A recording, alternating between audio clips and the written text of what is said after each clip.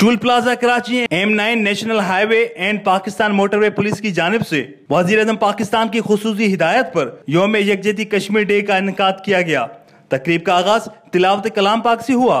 पूरे बारह बजे कौमी तराना और बाद में रियासत कश्मीर का तराना पढ़ा गया। तमाम आने वाली ट्रैफ़िक को रोका गया। रुकी हुई ट्रैफ़िक से उतरकर शहरियों ने मोटरवे पुलिस के साथ शामिल होकर योम यकजती कश्मीर में अपनी मोहब्बत का इजहार किया। तकरीब के शुरा ने नारों, मिली नगमों और तकारीर के ज़रिए यकजती कश्मीर का इजहार किया। शुरा का कहना था कि हम कश्मीरी भाइयों को तनहा नहीं छोड़ेंगे और शोदाय कश्मीर का लहू रंग लाएगा। आज जो यहाँ पे इकट्ठे हुए हैं ये हमारे कश्मीरी भाइयों के साथ इजहार यकजहती के तौर पे हम इकट्ठे हुए हैं। प्राइम मिनिस्टर सेक्रेटरी से इंस्ट्रक्शन थी तमाम मुल्क के डिपार्टमेंट से। हमारे आई जी A D Khwaja Sahab D I जी साहब डॉक्टर मसरूद साहब की खसूस हिदायत पर यह हमने इनका किया है यकजहती का कश्मीरी भाइयों के साथ। शुक्रिया करूँगा कि आप शहर से दूर एम नाइन टोल प्लाजा पर आएँ।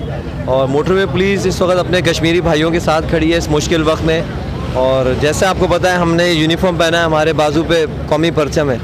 तो हम इस दिन ये अहद करते हैं कि इन अपने खून के आखिरी कतरे तक हम अपने कश्मीरी भाइयों के साथ हैं और इन अगर कभी ज़रूरत पड़ी तो हम पीछे नहीं हटेंगे। मैं यही कहना चाहती हूँ कि जिस तरह यहाँ यकजहती हुई है, मैं यही चाहती हूँ कि यही यकजहती हमारे वहाँ कश्मीरी भाई, भाइयों के लिए हमने की गई है। वहाँ बच्चे हैं, औरतें हैं, बूढ़े हैं, जवान हैं, उन सब के लिए मैं ये चाहती हूँ कि उनको आज़ादी मिले। हर आदमी के अंदर, एक एक बच्चे के अंदर जो है वो जज्बा मौजूद है कि हम जाएँ और किसी न किसी शक्ल में, किसी न किसी सूरत में जाकर अपने भाई जो हैं कश्मीरी मकबूजा कश्मीर में उनकी जो जदोजहद आज़ादी है उसमें शरीक हों। हुकूमत पाकिस्तान की तरफ़ से जो ऐलान किया गया था कि 12 बजे से लेकर साढ़े बारह बजे तक ये हम तमाम पाकिस्तानी कौम जो है वो कश्मीरी भाइयों के साथ यकजहती का इजहार करेंगे। कैमरामैन फारूक अली के साथ नबी बख्श खास के लिए online industry V Karachi.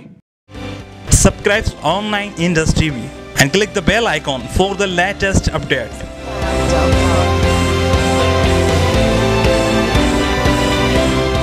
Keep watching online in industry TV.